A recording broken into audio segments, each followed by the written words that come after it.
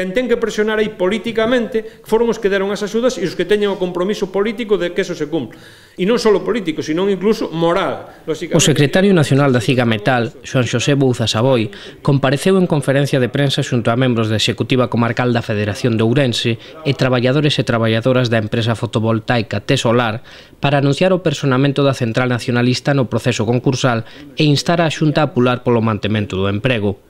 Desde a Ciga Metal alertan de que o ERE extintivo sobre os 170 traballadores e traballadoras de Tesolar, pertencente ao grupo Isolux, ven motivado por unha manobra para abaratar o prezo da empresa ante unha posible venda. Nos, primeiro, vamos a personarnos no concurso e mandar un informe á propia, eh, ao propio xugado mercantil eh, número 3 de Vigo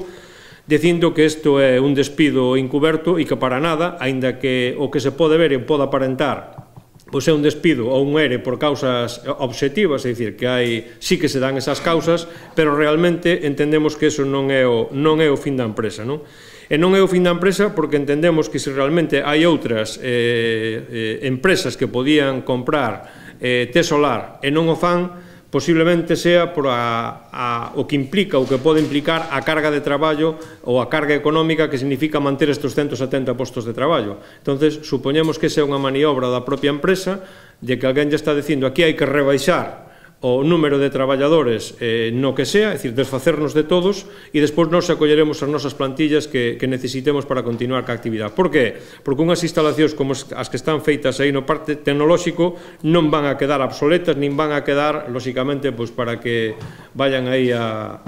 alguén a buscar toda a metralla que ten ali, senón que eso ten un valor e, polo tanto, eso é importante. Non? Por outra parte, exixiu a implicación da Xunta no proceso, tendo en conta que a empresa recibiu nos últimos anos numerosas axudas públicas das Consellarías de Traballo e Industria, co compromiso de manter o traballo até 2014 o compromiso que das axudas que leva recibida a empresa por parte tanto do Goberno do Estado como por parte da Xunta de Galicia que había un compromiso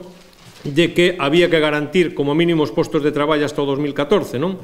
Entón, bueno, aí hai dúas consellerías, que a propia Consellería de Industria e a propia Consellería de Traballo, que teñen que velar por esta por o cumprimento desta desta condición que tiñan. O que non vale é que o, o Conselleiro de Industria pois anda dicindo por aí que sí que hai compradores e que sí que non sabe, pero que sí que tal, pero ao final non contrata, non concreta absolutamente nada. Nos creemos que a, a Xunta de Galicia, neste caso, tanto pola Consellería de Industria como pola Consellería de Traballo, teñen que tamén, e nos vamos a requerir yo por escrito esta mesma semana, a propia xugado do Mercantil de Vigo, dicindo que a empresa é viable, polo tanto, non ten que ir a liquidación, ni moitísimo menos,